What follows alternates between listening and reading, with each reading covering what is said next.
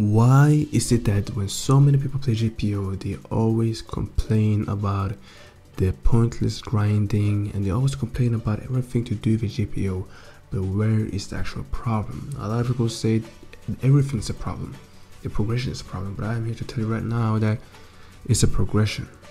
Now, the progression is the main culprit of why people do not like GPO as much as other games. So let me begin. GPO has a very very intense and grindy basically leveling system. So to go from level 1 to max you'd have to spend hours on hours to just get to that level. But this is designed intentionally so people spend longer in the game and so people are have a, so the game can maintain a higher player count a higher you know average playing time and get more money and get you know discovered for you know have being the most engaging. Using games where you can basically afk in and where you can basically spend a lot of time in and usually those are anime games.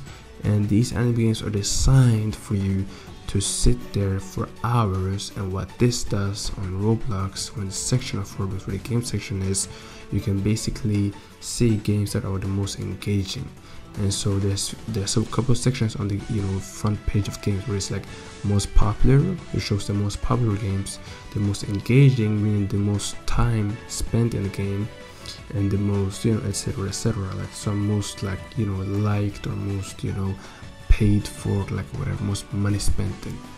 And so a lot of these games what they try to do is they try to do stuff to keep you in the game for longer that allow you to afk they maybe make something very slow they allow you to do it like basically a whole afk and a lot of stuff like that. Now here's the day with gpo when they developed the game they were saying oh instead of making a fun progression system where people could level up you know with enjoying themselves i'd rather focus on keeping them in the game as long as possible while making quests super long. And since we as people when we start something we usually want to accomplish it and get to the end of it. So we don't like starting something and then leave it halfway so even if something is very very grindy we still want to beat it at the end of the day and that's that's how Deepwoken is in a way. So let me explain what Deepwoken how Deepwoken works and how it relates to gpo so Deepwoken if you never played it before is permadeath game where you have to grind up to get yourself to level 60 and get yourself a bell.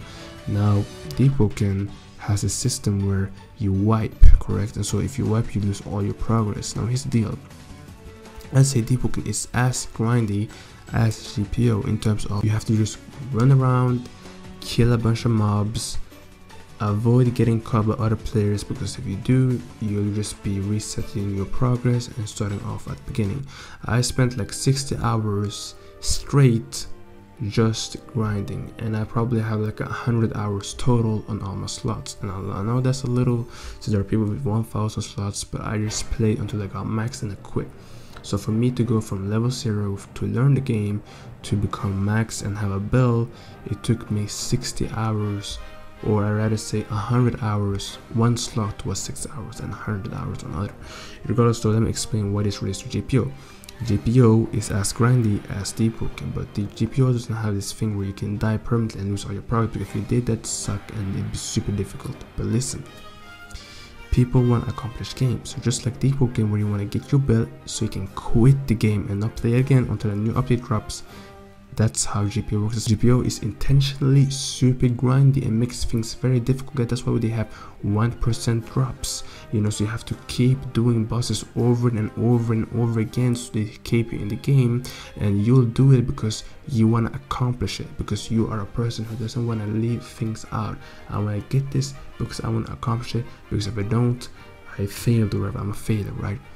And that's the kind of mindset most people have. They want to accomplish it no matter what. They spend hours in the game. Even though they don't enjoy it they don't enjoy it but they spend it because they want to feel accomplishment. They want to feel like they did stuff they want to feel like they worked hard and got themselves the reward. That's what people want. And so that's what gpo is abusing and which is why people play gpo a lot but hate it at the same time because people want to feel of accomplishment because they're not finished with the game. Because if they're finished with GPO and there's no content left, people would immediately leave and drop the game. Which would happen to Deepwoken, that's what my rant about Deep was about. As soon as people reached max on Deep they immediately stopped playing the game and left, which is why the big drop in player count is evident because initially it was high for a couple of weeks and then it dropped and it's because of naturally the game didn't couldn't keep the place because people got to max and they stopped playing and they'll come back when a new update drops just like GPO and so that's how GPO and Deep are similar and that's what the problem with GPO is and Deepwoken I'd say. Because both are grindy exploiting or accomplishment center I guess you could call it because we want to accomplish games so bad even if we don't enjoy at the same time. And that's all I wanted to say. Check the video yesterday where I was talking about I believe all seeing eye